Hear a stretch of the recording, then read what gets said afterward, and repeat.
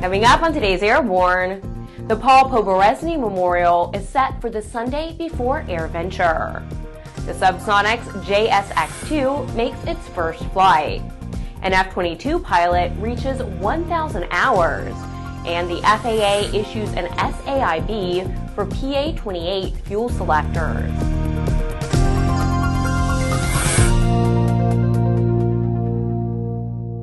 Welcome to Airborne on Aero TV. I'm Ashley Hale. The night before AirVenture's gates open on Monday morning, July 28th, a brief solemn ceremony will be held to honor EAA founder Paul H. Poberezny, who passed away last August at age 91. EAA chaplain Pastor Ed Riddick will lead the celebration of the life of Paul during the ceremony that will begin at 6 p.m. on Sunday, July 27th and will be held at the EAA Memorial Wall.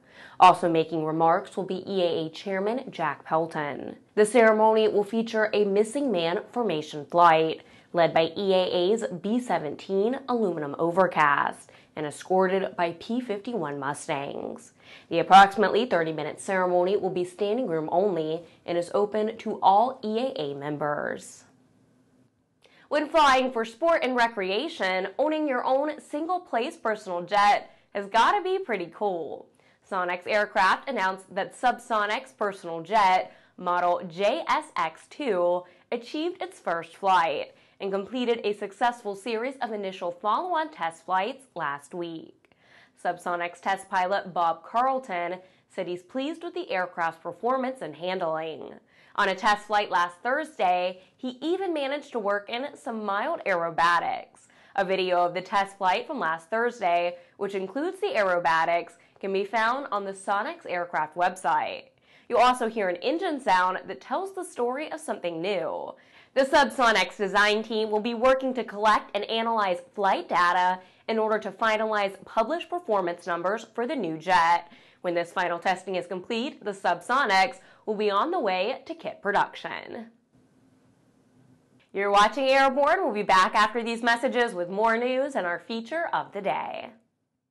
Since the early days of powered flight, pilots have struggled with landing in crosswinds. In fact, crosswinds and wind gusts cause more landing accidents than fog, thunderstorms, and icing combined. That's where the Redbird X-Wind SE comes in. By placing pilots in gusty crosswind conditions for extended periods of time, the X-Wind SE gives instructors all the time they need to teach the pilot the proper techniques for landing in crosswind conditions. For more information on Redbird X-Wind SE and Redbird's entire line of flight training devices, visit www.redbirdflightsimulations.com.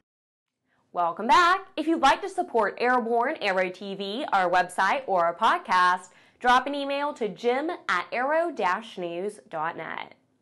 Reaching 1,000 hours of flying time is a reason for celebration for most pilots. In this case, Air Force pilot Major Daniel Magic Lee has reached the 1,000 hour mark for piloting one particular model of airplane, and that airplane is the F 22 Raptor. The 43rd Fighter Squadron instructor pilot reached this mark while stationed at Tyndall Air Force Base. Major Lee said, quote, This is a big deal for me and a historic moment for Tyndall, end quote. Major Lee has spent the last nine years flying the F 22 and logged 776 total flights in the aircraft. The major added in part, quote, It's an amazing machine. It's rather overwhelming the first 10 times you fly it. But at this point, it's just as natural to walk out the front door and get in the car as it is for me to take the F 22 and go 1,200 miles per hour or swing around at 9.5 Gs. End quote. Each week, we share with you a sample of an online video one of our viewers found especially entertaining. We call it our Aero Video of the Week. Final This is a great video of in-flight aerobatic action as seen through airplane-mounted cameras. Warning, do not eat solid foods within two hours before watching this video. Search RA2 aerobatic maneuvers on YouTube. Here's some important information about the popular Piper PA-28 series of airplanes.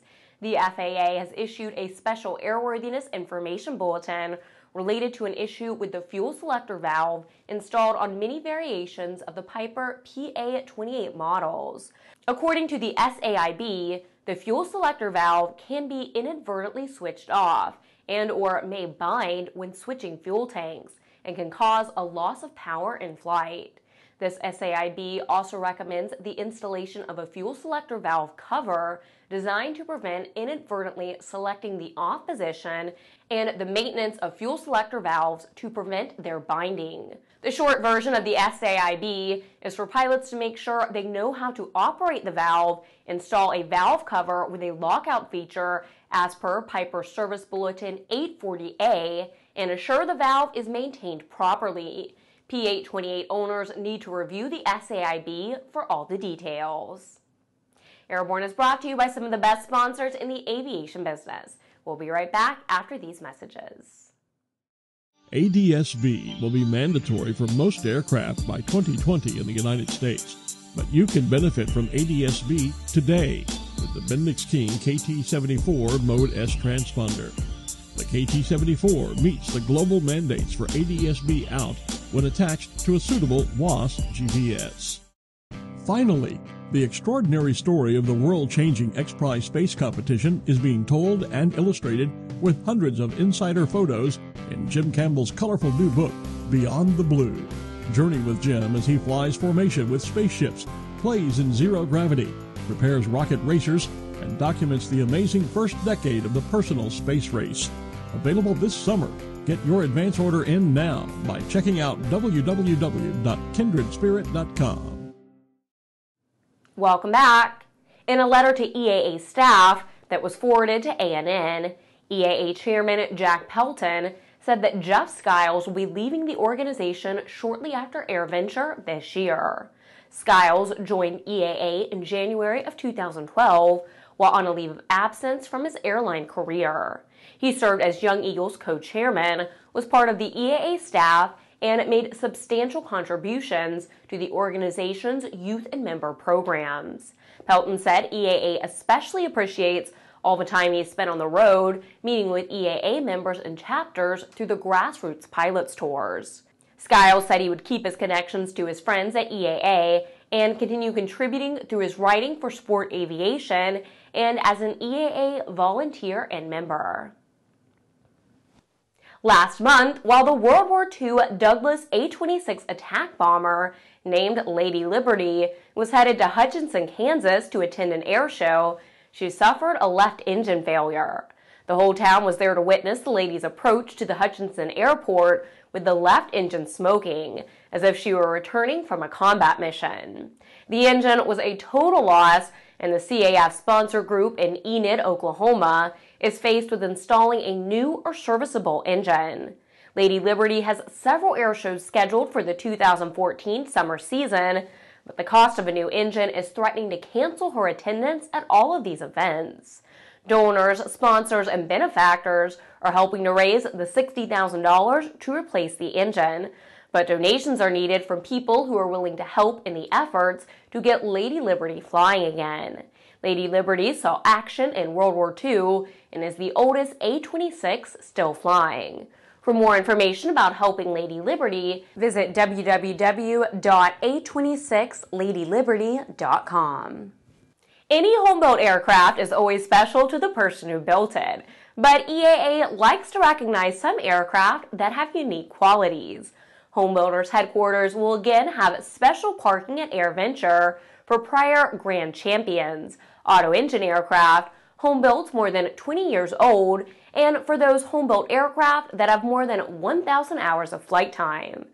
Pilots planning to arrive in a qualifying home built should contact Charlie Becker at EAA via his email cbecker at eaa.org for a special parking sign that can be displayed in the aircraft so EAA volunteers can direct it to the proper parking location.